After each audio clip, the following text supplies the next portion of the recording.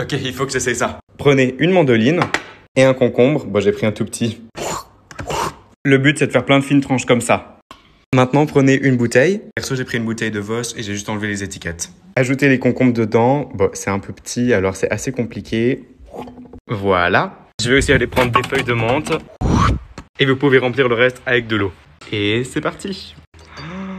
Si vous voulez, vous pouvez mettre un peu de jus de citron. Secouer. Et voilà, c'est parfait pour prendre cours. Ça va vous aider à vous concentrer. Santé